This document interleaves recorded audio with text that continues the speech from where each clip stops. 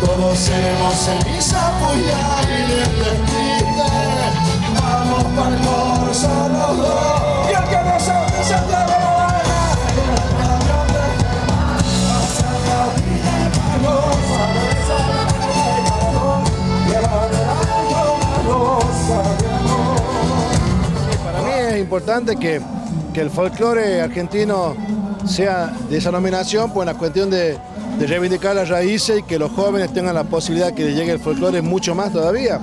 Así como fue con el chamamé, tendría que ser con la chacarera, que creo que es más importante todavía por la forma de bailar, por lo que se dice, por lo que se cuenta, ¿no? Eh, para mí tiene que estar, ya fue el chamamé, tiene que, que ser la, la chacarera y tiene que ser la chaya después y tiene que ser todas las cosas que son importantes para la cultura. Creo que Santiago ya se merece como corriente el chamamé, que es maravilloso. Santiago se merece que la chacarera sea patrimonio de la humanidad. años esto ha evolucionado, digamos, hay un mayor reconocimiento a todos los ritmos, eh, bueno, de aquí del norte. Claro, claro, ha evolucionado, sobre todo porque hoy las redes sociales son muy importantes y hay que saberlas manejar y hay que saberlas jugar. A veces uno se puede enojar con la influencia de muchas cosas, pero yo creo que la culpa también depende de muchos de nosotros, que tenemos que llevar cada vez más el folclore y cada vez que aparezcan más nuevos valores, nuevas canciones, nuevos autores. Se nos están yendo mucha gente querida que, escribía maravillas.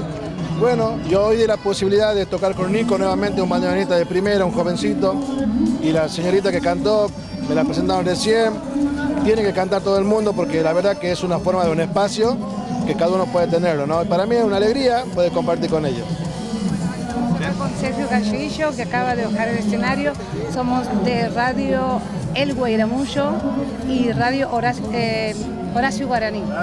Eh, contame, ¿qué sacaste de positivo en esta pandemia? No, sacar positivo, por supuesto, salir adelante en muchas cosas, eh, descubrirnos también como familia, porque habíamos dejado de los viajes, siempre te, te llevaban por otro lado.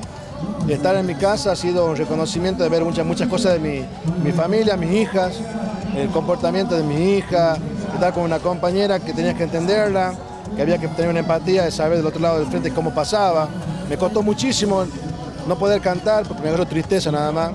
Pero la verdad que uno tiene que salir adelante y esto te dio esa pausa necesaria. Creo que Dios maneja los tiempos siempre para el bien y me, me tocó algo muy bonito de que poder escribir canciones nuevas.